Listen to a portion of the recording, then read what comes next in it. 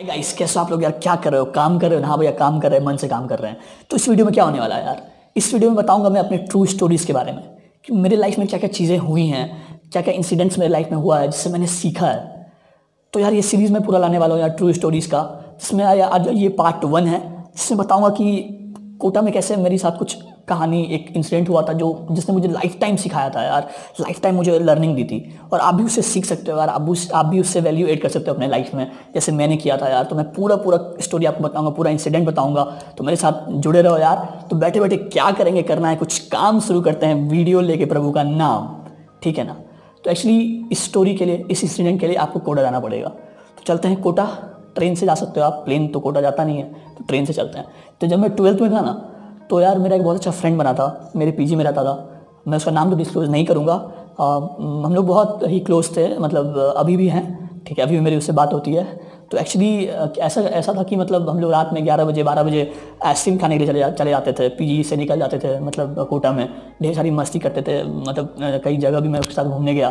तो हम, मैं क्या करता हम लोग क्या करते थे कि रात में ग्यारह बारह बजे बैठते थे, ऐसे ही चैट करने के लिए, ऐसे ही बैठने मतलब बात बात करने के लिए, बालकनी में, और बहुत तरह की बातें करते थे, पॉलिटिक्स की बात तो इसकी बात तो उसकी बात फेवरेट फेवरेट एक्टर कौन है आपका, फेवरेट मूवी कौन कौन सा है, ऐसी तरह तरह की बातें होती रहती थी, ठीक है? तो क्या हुआ यार, मेरे, मेरी पीजी में था वो तो उसका रूम बहुत पास में था तो एक दिन क्या हुआ कि मैं ऐसे ही उसके रूम में चला गया मतलब ऐसे ही मतलब मन नहीं मुझे लग रहा था तो मैंने सोचा, चलो यार, थोड़ा मतलब दो मतलब दोस्त के रूम में जाते हैं, थोड़ा टाइम पास करते हैं। तो मैं गया उसके पास तो हम लोग साथ में बैठे यार तरह तरह की बातें कर रहे थे। तो एक्चुअली होता क्या है ना इन कन्वर्सेशंस में कि आप क्या करते हो ना कि आप भी अपना आ, कोशिश करते हो आप भी अपने ईगो पे कभी कभी कुछ चीज़ों को ले लेते हो। तो ये यही कहानी है यार आज इसकी आज इंसिडेंट से मैं आपको ये सिखाना चाहता हूँ कि कैसे आप सीख सकते हो खट खट खट खट कैसे आप अपने ईगो से लड़ सकते हो ठीक है?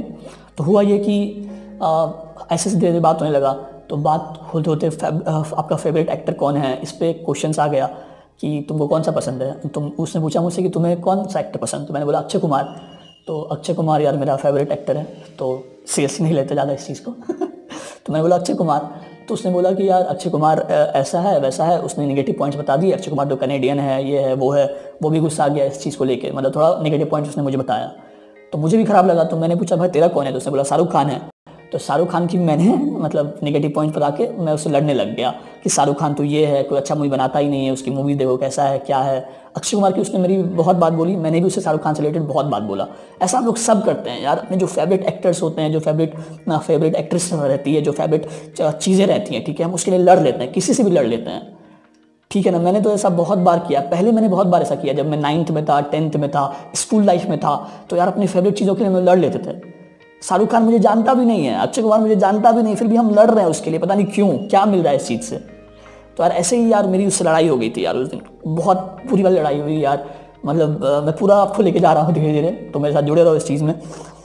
तो एक्चुअली हुआ ये ना फिर कि मैंने भी शाहरुख खान के बारे में कुछ कुछ गलत बात बोल दिया यार कि वो सही नहीं है, वो अच्छी अच्छी मूवीज़ नहीं करता है, वो तो मतलब इंडिया को सपोर्ट नहीं करता तरह तरह की बातें बोल दी यार जो नहीं बोलना चाहिए था मुझे। और उसने भी बोल दिया कि अक्षय कुमार तो कनेडियन कुमार है, उस, वो मूवीज़ इसलिए करता है ताकि इंडिया में संपत्ति गेन कर सके, ये कर सके, वो कर सके, वो इंडियन सिटीजन ही नहीं है। तो बहुत ऐसी ऐसी बातें हुई जो मुझे ख़राब लगी और मैंने भी कुछ ऐसे बात ही बोल दिया जो उसे ख़राब लगा। तो ऐसा, फिर धीरे धीरे ऐसा सिचुएशन हो गया कि यार we went into abusive state ठीक है? हमें मतलब मुझे भी गुस्सा आ गया उसे भी गुस्सा आ गया और मतलब एब्यूसिव स्टेट में हम लोग चले गए और ऐसा सिचुएशन ऐसा ये हो गया कि मतलब क्या बताऊँ आपको यार कैसा सिचुएशन उस टाइम हो गया? तो, तो ये मेरी उस टाइम की कहानी थी। तो हम लोग लड़ने लगे आप आपस में एक दूसरे में मतलब हम लोगों की बहुत बुरी मतलब ऐसे ही बातों से लड़ाई हो गई ठीक है? तो फिर क्या हुआ कि मैंने बोला भाई आज के बाद मैं तेरे तो तेरे रूम में नहीं आऊँगा ये नहीं करूँगा वो नहीं करूँगा जिससे हम लोग सोचते थोड़ा। पहले तो यार अभी मतलब ऐसा ही सोच रखते थे ना। तो उतना कंजर्वेटिव में रहता था। तो मैंने बोला कि मैं तेरे रूम में नहीं आऊँगा उसने बोला कि मैं भी तेरे रूम में नहीं आऊँगा। आज से आज से दोस्ती खत्म, आज से ये खत्म, वो खत्म, सब कर दिया हमने। ठीक है? तो फिर मैं अपने रूम में आ गया। तो जब मैं अपने रूम में आया तो यार मुझे फील हुआ कि ये सही नहीं है यार। मैंने ये सही नहीं किया यार। एक तो इतने, इतना अच्छा दोस्त था यार। मैंने उसके साथ इतना टाइम स्पेंड किया है।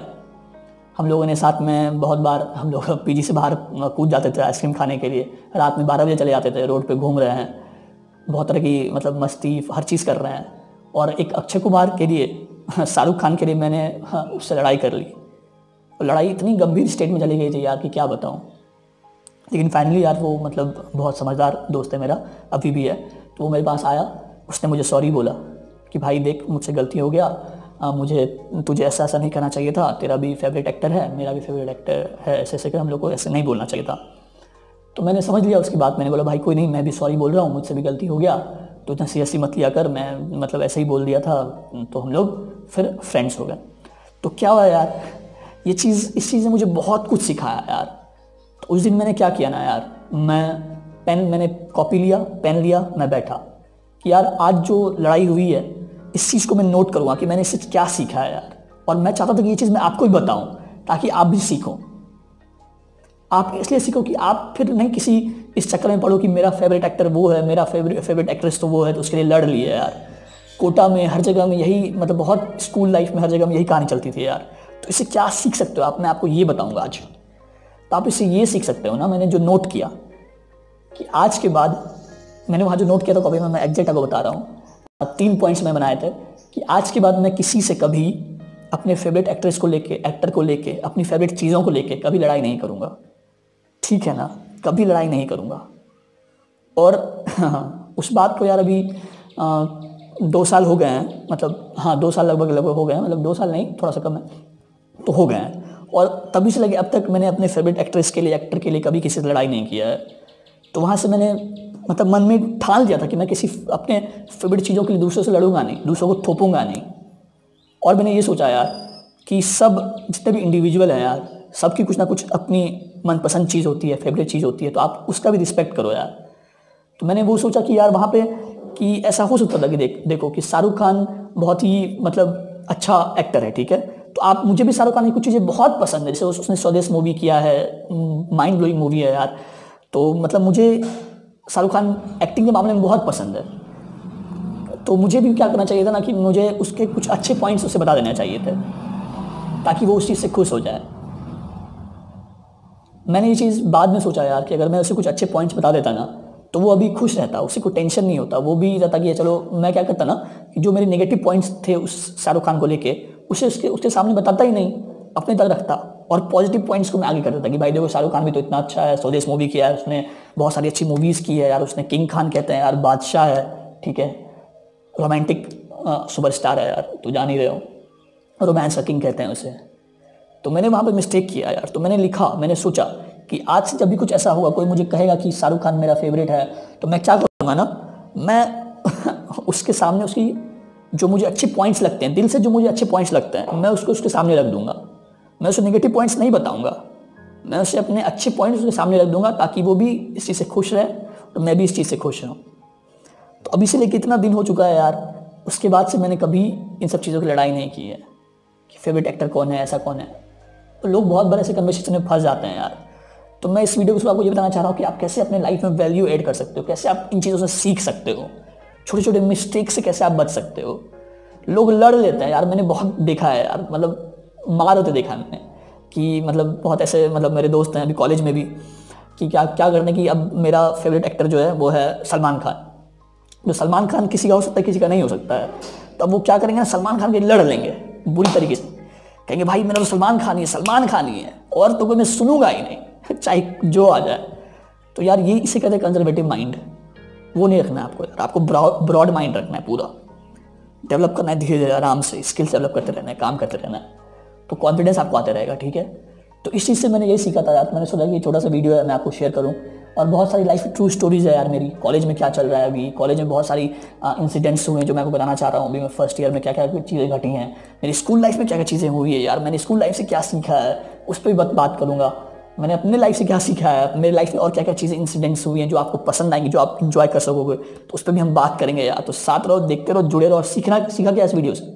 इस वीडियो से ये सीखा मैंने कि चाहे जो हो जाए, अपनी फेवरेट चीज़ों के लिए लड़ाई नहीं करेंगे। अगर सामने वाला कुछ बोल भी रहा है ना तो जो चीज़ मुझे पसंद नहीं है, जो एक्टर या एक्ट्रेस या जो फेवरेट चीज़ मुझे पसंद नहीं है तो हम क्या करेंगे ना, उसकी कुछ तो अच्छी क्वालिटीज़ होगी ना, जो आपको लगती हो यहाँ ये अच्छी क्वालिटीज़ है तो उसको उसके सामने पेश कर देंगे, ताकि वो भी खुश रहे, हम भी खुश रहें, ठीक है? जुड़े रहो यार कमान